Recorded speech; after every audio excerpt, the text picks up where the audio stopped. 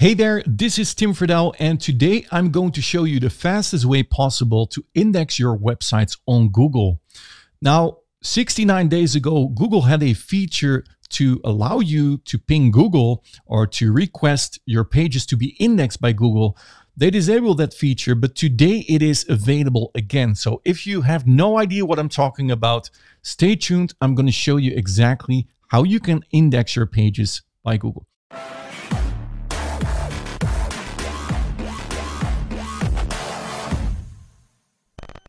So the first thing that you want to do is you want to do a Google search for Google Search Console because that is what you're going to need to uh, yeah to request Google to index your page. So click on the first results that you're going to get. Click on Start Now, and that will bring you to Google Search Console. Now, I recommend anyone to add their website to Google Search Console anyhow, but in our case, we need to do this in order to notify Google that we have a new site ready or a new page on our website.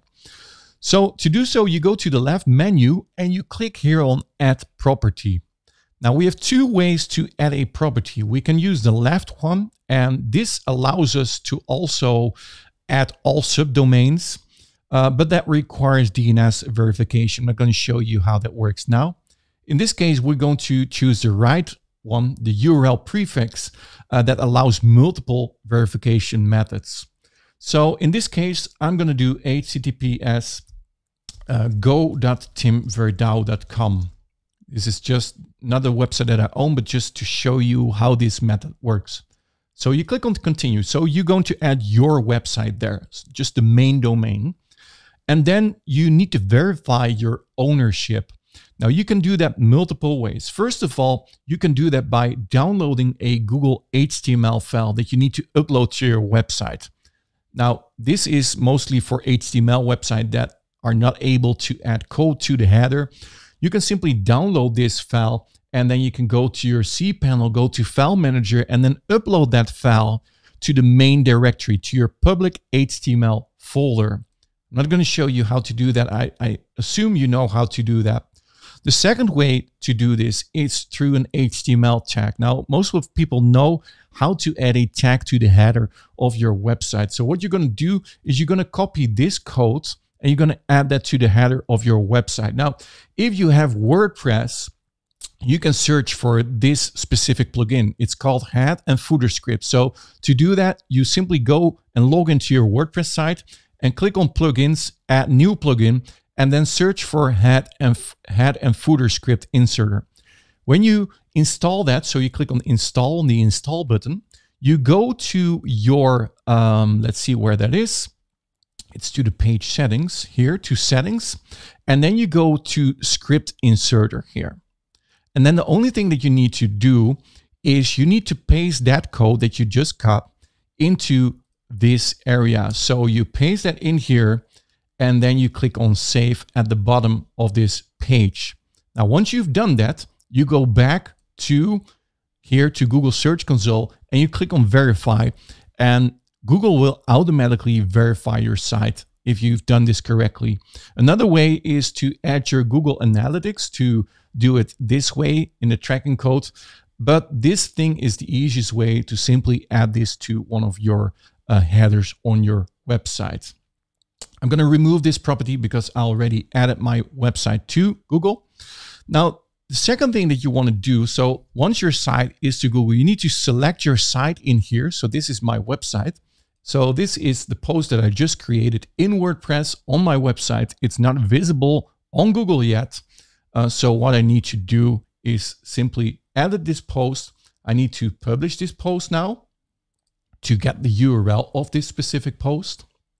And there it is. You can see this is the post that I want to add to Google. So you can always search in Google if your website is in there. To go to Google, when I go to Google here, I can do site and then you can add your URL. So what you're going to type is this. You do site and then the double point here, and then you're going to paste the URL. Now, when I hit enter, you will see that Google says that this site has not been indexed by Google. So what I'm going to do is I'm going to copy this URL. This is my new post that I want to get indexed into Google. I go back to Google Search Console And then what I'm going to do here is I'm going to click on URL inspection, this part here. When you do that, you can paste that URL on top of this and you're going to hit enter. Now it's retrieving data from Google and it's going to, to, to tell me that the URL is not on Google. And that's right, we confirm that by doing the search on Google. And then what you need to do, the only thing that you need to do is you need to press this button, request indexing. So when I hit this button, it's testing if the live URL can be indexed. And this might take a minute or two. So it's now going to check if this URL is really on my website. And once that is done, it's going to confirm that it has been added to the queue of Google to be indexed to the search engines. And now it's done. And as you can see, it says indexing requested. URL was added to a priority crawl queue. Uh, and it also says submitting a page multiple times will not change its queue position or priority. But this is the only thing that you need to do uh, to get your websites indexed into Google. Now, the only thing that you need to do is to go to Google uh, little later and to see if your website is getting indexed. Now, I have to say that right now it takes longer than it was taking before. Uh, and probably that is because this feature has been uh, yeah, enabled again. So hundreds of thousands of people right now are adding their websites to Google, requesting to, to get indexed again. So probably there will be more delay. But I've noticed in the past that I've done this when I created a new blog post I've added it to Google Search Console, and literally a few minutes later, my post was indexed into Google. And this is really the fastest way possible to get your website indexed. Now, another thing that you can do is you can go to a website which is called pingler.com. Pingler.com. And this is an additional way that you can do is how to index your website on Google, you need to do the search query here, and then you're going to paste your URL in here. And you need to choose a category. So in this case, uh, let's see, this is marketing or other. And then you click on ping. And this will also, uh, Pingler will now also start pinging your websites to Google and let Google know that your website is also available on the web to be indexed. Now, you don't need to fill out your email address in here. It, it's asking for an email address, uh, but it says starting ping process in two minutes. This can be done for free. You don't need to have an account.